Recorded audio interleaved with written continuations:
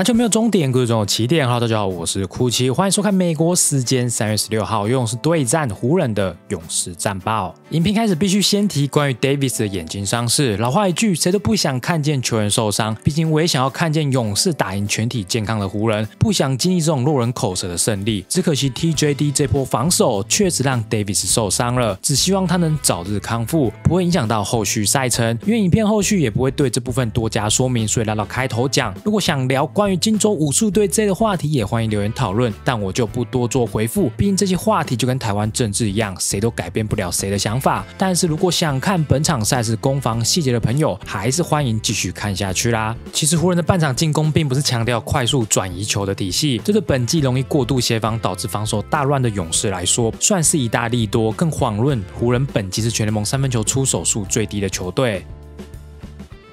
而湖人进攻善于用挡拆错位、低位进攻、转换推进等方式来强化他们拥有 James Davis、D. Lo 跟 Reeves 的进攻优势。虽然从第一节前半段发现湖人只要有机会就会强攻 Curry，包括开局第一波进攻，James 和 Reeves 打配合点名 Curry，但不得不说 Curry 本场防守一反本季的常态，不止快速绕掩护，没有让 James 错位到，同时也没有给 Reeves 有出手机会。只可惜在连续三波配合之后，还是被 Reeves 投进高难度的 pull up 三分球。紧接着下一波同样想点名 Curry，但 Curry 再次展现优异的防守躲掉，James 最终只能下球突破挑战 Wiggins，并受到 Green 协防后转移到对角。而此时前几场。多次被点名防守瑕疵的库明嘎，却以相当漂亮的站位快速 close out 到八村垒面前，成功干扰他的出手。十分十五秒，湖人打了一波 wedge roll，库明嘎反应快速换防，阻止了 Reeves 的出手，但是也给了 James 错位 Curry 的机会。只可惜 James 并未选择打点 Curry，而是让 Davis 低位单打 Green 而失败。八分四十五秒，八村一过半场的无人边挡拆打点到 Curry，勇士因而启动协防机制。不得不说，面对湖人不算快的转移球，三锋线确实 cover 住这波。破协防，只可惜还是败在 James 守不住的翻身跳投中距离。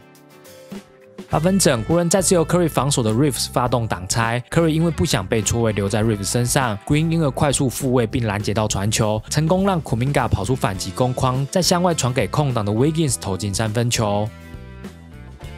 简单来说，勇士首节前半段半场防守几乎没有让湖人得逞，换来的是不少非错位的正常多位攻防。只不过湖人还是靠着强大的单点得分能力维持住输出。勇士这边则展现梦寐以求的画面，由双车翼包办全队的前十七分，除了少部分半场防守成功的转换进攻得分，大部分都是由湖人面对库明嘎采取沉退放投的策略失分。库明嘎就这样在六分钟内得到了十分，四次出手全都是三分球和中距离，而且能从这四次出手发现，湖人面对他就是只要你不来禁区，外线随便你投的意思，根本没有在手。即使 GB Two 一上场能靠着 Davis 的放投而投进三分球。但随后却迎来 James 的外线连标。加上佩腾连续两波的防守瑕疵，包括这一波没有必要的起跳干扰传球，还有没有必要的协防犯规，都让湖人得到分数，比数也因而被湖人反超并领先五分。幸好勇士开始透过湖人让常人沉退的防线，给予汤普森出手大量外线的机会，让勇士在首节末能稍微咬住比分。根据官网数据，本季湖人对手三分球出手数和命中数都是全联盟第三多的，对手命中率也是第六名的三十七点九 percent，相比去年退步许多。其实让常人沉退本。真没有问题，有些球队也是这样防守的。但是当少了能在外线绕掩护咬住对手的大锁时，常人沉退的缺点就会被放大。在这边我还是要尊重 Davis 的拼战精神，即使只能睁开一只眼睛，还是留在场上拼了三分钟，甚至还能抢篮板得分跟盖火锅，相当惊人。叠叠战场很快转移到 James 跟汤普森的标分上，James 不断利用错位打点菜鸟 TJD，不论是面框突破还是外线后撤的四分打，TJD 都被教训的体无完肤。与此同时，汤姆森手感也已经上火，多次面对面的出手和横向漂移都成功命中。与此同时，也不断利用 Hass 的沉退去得分。有人看到这可能会疑惑，为什么湖人不改变策略，让常人换防或者是 hedge？毕竟无论是 Davis 还是 Hayes 都算是能对位到外线的常人。这个问题我觉得跟勇士即使外线被投爆，还是会继续内缩协防一样。毕竟湖人只要常人被拉出去，进去基本上就是没有办法阻止 Roman，所以干脆让对位者尽可能绕掩护干扰，而常人就是蹲坑降低对手禁区得分。就拿这一波来说，如果 Hayes 此时 hedge，汤普森就能传给 TJD 得分。换句话说，就是一种取舍啦。同时这也是为为什么 Vanderbilt、Radish 受伤，湖人防线堪忧的原因。勇士在第二节后半段大量为 Curry 设计战术，包括一波从墙边绕到落边的八字形跑法，让 Curry 投进三分球，还有六分多钟的边线 flip 战术。所谓的 flip 就是快速回传，可以看到 Curry 一接到球马上就回给 Paul，随即再透过苦命盖的掩护试图 catch and shoot，虽然最后被丁威迪犯规破坏掉，但也因而进入了加罚阶段。第二节五分多钟，James 错位 Curry 启动 Paul 的协防包夹，勇士轮转很快对位，但是在 TJD 这一点却因为错误的站位被八村迅速突破暴扣。在 Davis 伤退后，湖人改打矮阵容还算有进攻效果，但是禁区防线大开的更加严重。于是后半由八村或 James 当做小球号的时段，勇士不停透过 Gota Screen 来为 Curry 创造上篮机会。与此同时，Thompson 在一分多钟的 Splitsation 三分球，还有 Green 的快攻长传 at you，以及招牌的绿咖喱再次抛给库明嘎的灌篮，勇士就这样轰炸篮筐，在第二节后段大量取分，并在中场结束前逆转湖人。下半场一篮后，双方命中率都有所下降，尤其是湖人少了上半场想要针对 Curry 的企图心，有些出手的过于勉强，也不是在错位情况下出手，加上没有 Davis 在低位牵制防线，使得湖人命中率全面下降。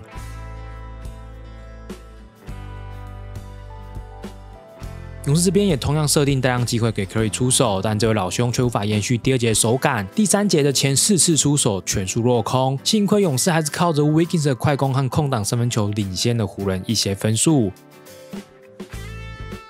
六分五十秒，Curry 的双挡拆加上换手运球突破，Hayes 却没有向前扑防。还有四分五十秒，黑色篮板卡位仪式和护框都失败，从这点就能看出有没有 Davis 的差距。但是让勇士稳住分差的是第三节四分半，Payton 的精彩防守，先是内缩协防被错位的 Curry，再迅速 cross out 盖到 Reeves 的三分球，随后的防守反击使得湖人回防乱掉，经过几波倒传，球转移到空档的 Payton 手上后，迅速跟 Curry 搭配一波 handoff，打进了四分打，此时分差就来到了十分。但是每当以为勇士能稳住领先时，那一位四十岁老人都能跳出来追。追分，明明是小前锋出身，却能面对中锋 TJD 使出坦克切入打进二加一，简直不可思议。随后湖人也利用黑蛇爆发力，也打出了一波 Gut Chicago。不同于一般的 Chicago Action，射手位是从中间绕出来的，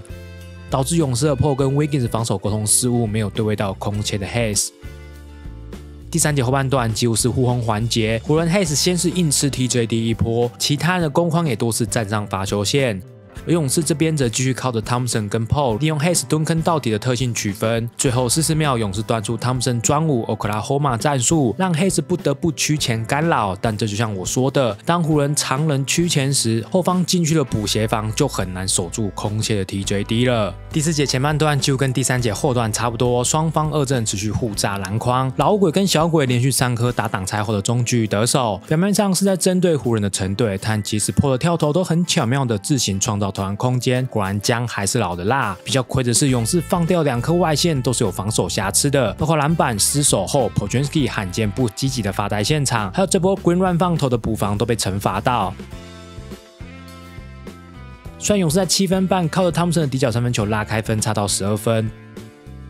但是每当出现双位数的分差，总会触发到全力战的召唤咒语，连续两波顶开 Kuminga 的突破二加一，硬是把分差拉近到六分。一分钟后，Reeves 的二加一更是把分差追到只剩四分。不过勇士在湖人拿出五小且采取换防不成退后，Kuminga 跟 Curry 的空切就更加轻松了。还有这波 Wiggins 终于顶住 James 的篮下终结。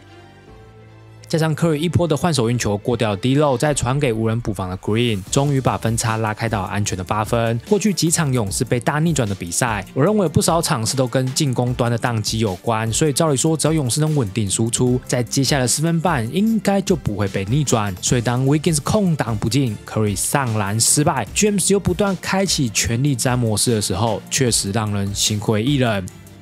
但幸好在最后两分半，科里这波聪明的背挡空切甩掉 Reeves 后，勇士领先到七分，才相对比较稳一点。但是在权力战面前，谁都不能说稳这个字。这颗后撤加漂移的高难度三分球，又让战局更加扑朔迷离。只是没有想到，裁判重新看重播后，却发现 James 的脚后跟已经踩线，最终没收了这颗三分球。紧接着就是挑战 Green 的踩线，以及著名的湖人主场小表罢工事件。前前后后搞了大概十五分钟，比赛才改有人工计时的方。方式继续，但是本该精彩的最后收官时刻，却两边球员身体冷却后，由 James 错位单打 Curry 失败后，暗淡结束。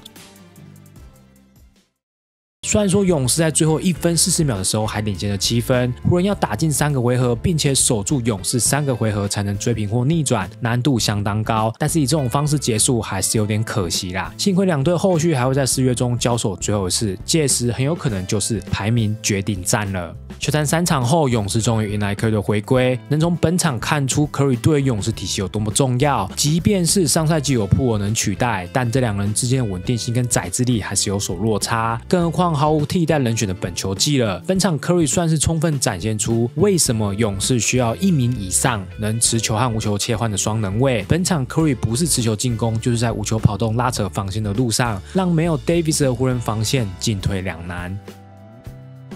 而除了 Curry 的回归，本场勇士能顶住四十分全力战的湖人，除了 Davis 伤退这项因素，得到二十三分的库明加和二十六分的 Thompson 也扮演着重要角色。其实不管 Davis 有没有在场上，都需要除了 Curry 以外的球员跳出来惩罚湖人中锋们的沉退。第一节前半段是库明加，后续则由 Thompson 接力，两人光是上半场就得到三十九分，这也让我联想到去年勇士第二轮季后赛输给湖人的原因，就是没有第二个人能在外线惩罚湖人，所以看见。本场勇士能有三人同时得分超过二十分，还是相当欣慰的。